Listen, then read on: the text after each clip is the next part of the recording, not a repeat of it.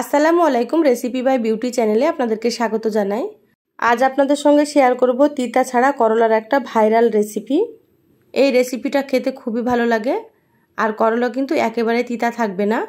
যারা করলা খেতে পছন্দ করেন না এইভাবে একবার রান্না করে খেয়ে দেখতে পারেন। আশা করছি আপনাদেরকে ভালো লাগবে। তা আপনারা স্কিপ না করে পুরো রেসিপিটা দেখে নেবেন। চ্যানেলে নতুন হলে চ্যানেলটা সাবস্ক্রাইব করার অনুরোধ রইল। বেল বাটন অন করে রাখবেন পরবর্তী ভিডিও নোটিফিকেশান পাওয়ার জন্য। চলুন কথা না বাড়িয়ে রেসিপিটা শুরু করি। এখানে দেখুন, আমি আড়াইশো গ্রাম করলা কেটে নিয়েছি। এরকম পাতলা পাতলা করে গোল গোল করে কেটে নিয়েছি। এইভাবে করে আপনারা কেটে নেবেন। আর আমি এখানে বীজগুলোকে ফেলে দিয়েছি। আপনারা চাইলে বীজগুলো রাখতে পারেন। আর এখানে আমি মিডিয়াম সাইজের তিনটে আলু কেটে নিয়েছি, এইভাবে ডুমো ডুমো করে। আলুগুলো আমি খুব বেশি বড় করিনি, ছোট ছোট করেই কেটে নিয়েছি। এখানে বড় সাইজের দুটো পেঁয়াজ কুচি করে নিয়েছি। পেঁয়াজটা আমি লম্বা লম্বা করে কুচি করে নিয়েছি। তো প্রথমে করলাগুলোকে আমি কেটে নিয়েছি। তারপরে সঙ্গে সঙ্গে পানি দিয়ে ধুয়ে আমি তুলে নিয়েছি। তারপরে পানিটাকে ঝরিয়ে নিয়েছি। করলাগুলো কেটে নেওয়ার পরে অনেকক্ষণ কিন্তু পানিতে ভিজিয়ে রাখা যাবে না, তাহলে করলা তিতা হয়ে যাবে। আলুগুলোকেও খুব ভালোভাবে ধুয়ে আমি পরিষ্কার করে নিয়েছি। এখানে দেখুন বাটিতে একটা ডিম ভেঙে নিয়েছি। ডিমটা আমি সাইডে রেখে দিলাম। এবার গ্যাস অন করে কড়াই দিয়ে দিলাম, দিয়ে দিচ্ছি এখানে আমি তিন টেবিল চামচ সর্ষের তেল। এই রান্নাটা কিন্তু সর্ষের তেলে বেশি ভালো লাগবে। আপনারা সর্ষের তেলে রান্না করার চেষ্টা করবেন। তেলটা খুব ভালোভাবে প্রথমে গরম করে নিতে হবে। তেল খুব ভালোভাবে গরম করে নিয়েছি, এবার এখানে আমি করলাগুলো দিয়ে দিচ্ছি। সম্পূর্ণ করলাগুলো দিয়ে দিলাম। এবার এখানে আমি সামান্য পরিমাণে একটু লবণ দিয়ে দিচ্ছি। এবার গ্যাসের আঁচ হাই হিটে রেখে আমি করলাগুলোকে ভেজে নেব। গ্যাসের আঁচ কমিয়ে কিন্তু করলা ভাজা যাবে না। গ্যাসের আঁচ হাই হিটে রেখে কিন্তু করলা ভেজে নিতে হবে। দেখুন, করলাগুলো আমি একটু সময় নিয়ে ভেজে নিচ্ছি। তো যারা ভিডিওটি দেখছেন, একটা লাইক দিয়ে ভিডিওটি কন্টিনিউ করবেন। আপনাদের একটা লাইক পরবর্তী ভিডিও বানাতে আমাকে অনেক উৎসাহ জাগায়।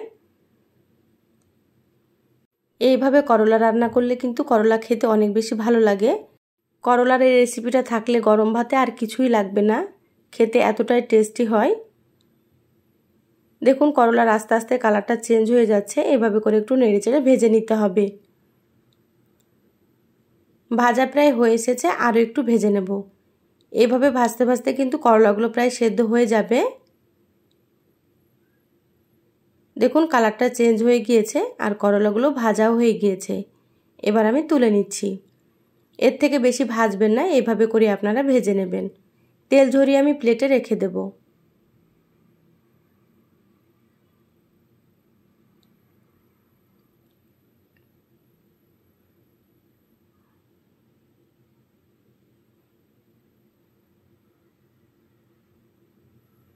সম্পূর্ণ করলাগুলো আমি তুলে নিয়েছি। ওই তেলের মধ্যে আমি আলুগুলো দিয়ে দিলাম। দিয়ে দিচ্ছি হাফ চা চামচ লবণ। আর সামান্য একটু দিয়ে দিচ্ছি হলুদের গুঁড়ো। এবার নেড়ে চেড়ে খুব ভালোভাবে লবণ আর হলুদটা মিশিয়ে নেব।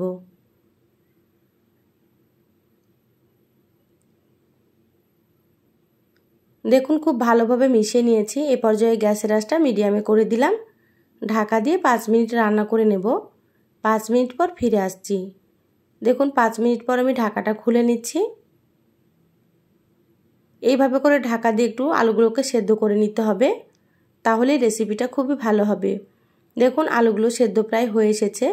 যেহেতু আলুগুলো ছোট ছোট করে কাটা আছে, আবারও আমি পাঁচ মিনিটের জন্য ঢাকা দিয়ে দিলাম।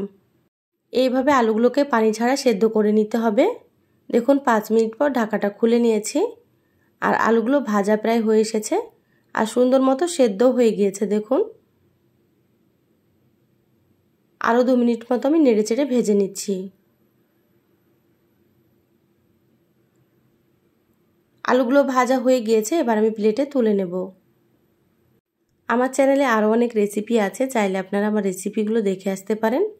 কিছু রেসিপির লিঙ্ক আমি আই বাটনে দিয়ে দেব, আপনারা সেখান থেকেও দেখে নিতে পারেন। দেখুন, আলুগুলো তুলে নিয়েছি। আবারও এখানে আমি দিয়ে দিচ্ছি এক চামচ মতো তেল। এখানে খুব বেশি তেল লাগবে না, এক চামচ মতো দিয়ে দিতে হবে। এবার এখানে আমি দিয়ে দিলাম একটা রসুন কুচি। একটা বড় সাইজের রসুন আমি কুচি করে নিয়েছিলাম। রসুনগুলো হালকা করে ভেজে নেব। দেখুন, রসুনগুলো ভাজা হয়ে গিয়েছে। এবার এখানে আমি দিয়ে দিচ্ছি দুটো পেঁয়াজ কুচি। এই রেসিপিতে পেঁয়াজের পরিমাণ একটু বেশি দিলেই কিন্তু খেতে ভালো লাগবে। এখানে আমি সাত থেকে আটটা মতো দিয়ে দিলাম কাঁচামরিচ। তো ঝাল বুঝে আপনারা এখানে কাঁচামরিচ ব্যবহার করবেন। এবার গ্যাসের আঁচ মিডিয়ামে রেখে এগুলোকে একটু ভেজে নিতে হবে। পেঁয়াজগুলো ভাজার সময় একেবারে তেল কম মনে হবে, কিন্তু আপনারা এখানে তেল ব্যবহার করবেন না। কারণ প্রথমে করলা আলু ভেজেছি, তখন তো তেল ব্যবহার করেছি। রান্নাটা হয়ে যাবে, তখন কিন্তু তেলটা ঠিকঠাক হয়ে যাবে। আর এখন যদি আপনারা তেল ব্যবহার করেন, তাহলে তেলের পরিমাণটা বেশি হয়ে যাবে। এখানে আমি স্বাদ মতো দিয়ে দিলাম লবণ।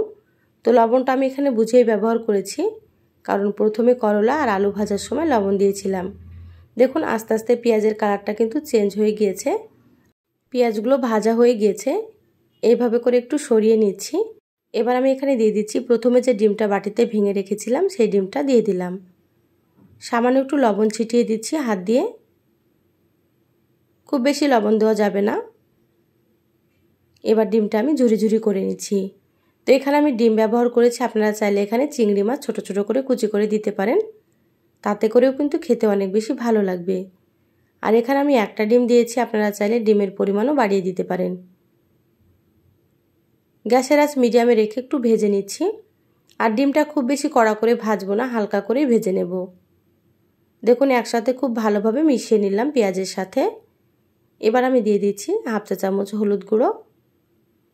হাফ চা চামচ দিয়ে দিলাম জিরা গুঁড়ো। দিয়ে দিচ্ছি সামান্য পরিমাণে একটু মরিচ গুঁড়ো। তো এখানে আমি যেহেতু কাঁচামরিচ ব্যবহার করেছি, সেজন্য এখানে সামান্য পরিমাণে করে দিয়ে দিলাম। আপনারা যেমন ঝাল খেতে পছন্দ করবেন সেইভাবে করে মরিচ ব্যবহার করবেন। সামান্য পরিমাণে পানি দিয়ে দিলাম। এবার নেড়েচেড়ে খুব ভালোভাবে এটাকে কষিয়ে নেব। খুব বেশি পানি দেওয়া যাবে না, সামান্য পরিমাণে দিয়ে দিতে হবে। দেখুন সুন্দর মতো কষিয়ে নিয়েছি। এবার আমি এখানে দিয়ে দিচ্ছি ভেজে রাখা আলু। আলুগুলো দিয়ে একসাথে খুব ভালোভাবে মিশিয়ে নেব। রান্নাটা আমি মিডিয়াম আছে করে নিচ্ছি। এ পর্যায়ে গ্যাসের আজ বাড়ানো যাবে না, মিডিয়াম আছে করে নিতে হবে। এবার এখানে আমি হাফ কাপ পরিমাণে পানি দিয়ে দিচ্ছি, যাতে করে মশলাটা খুব ভালো মতো আলুর সাথে মিশে যায়। এখানে অবশ্যই একটু পানি দিতে হবে। দেখুন, নেড়ে চেড়ে নিলাম। এবার ঢাকা দিয়ে পাঁচ মিনিট রান্না করে নেব।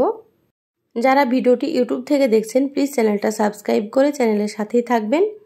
বেল বাটন অন করে রাখবেন, তাতে করে আমি যখনই ভিডিও আপলোড করব, আপনারা সবার আগে নোটিফিকেশান পেয়ে যাবেন।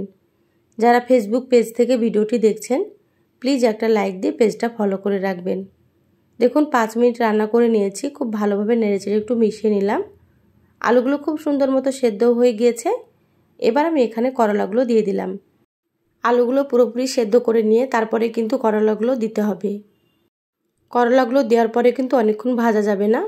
এবার আমি গ্যাসের আঁচটা হাই হিটে করে দিলাম। এবার নেড়েচেড়ে একটু ভেজে নেব। প্রায় দু মিনিট মতো ভেজে নিলে হয়ে যাবে।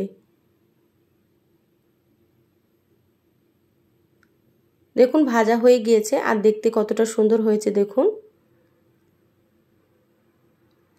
এবার আমি গ্যাস বন্ধ করে দিলাম। প্লেটে তুলে নিয়ে তারপরে আপনাদেরকে আমি দেখাচ্ছি। দেখুন প্লেটে তুলে নিয়েছি আর দেখতে কতটা সুন্দর হয়েছে, দেখুন। খেতে কিন্তু খুবই ভালো হয়। যারা করলা খেতে পছন্দ করেন না, এইভাবে একবার রান্না করে খেয়ে দেখবেন। আশা করছি আপনাদেরকে ভালো লাগবে। করলার এই রেসিপিটা গরম ভাত, রুটি পরোটার সাথে খুবই ভালো লাগে। তো রেসিপিটা আপনাদেরকে কেমন লাগল অবশ্যই আমার চ্যানেলের কমেন্ট বক্সে কমেন্ট করে জানাবেন। ভালো লাগলে একটা লাইক দিয়ে যতটা সম্ভব ভিডিওটা আপনারা শেয়ার করে দিবেন। সবাই ভালো থাকবেন, সুস্থ থাকবেন।